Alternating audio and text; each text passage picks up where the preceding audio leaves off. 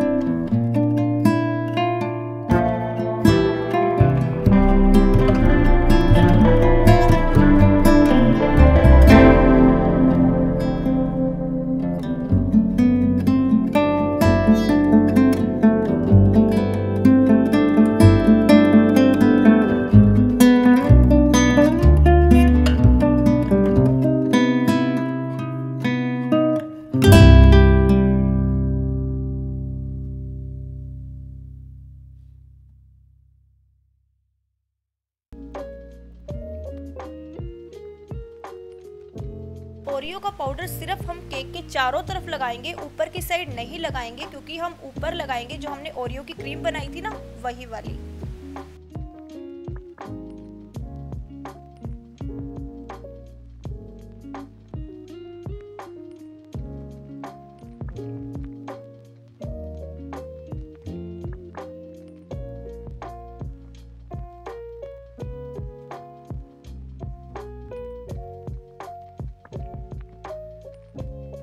Oreo cream लगाने के बाद हम साइड्स में डाल देंगे ओरियो का पाउडर। चारों तरफ़ हमें ऐसा ही करना है केक के। ये देखिए, इस तरीके से।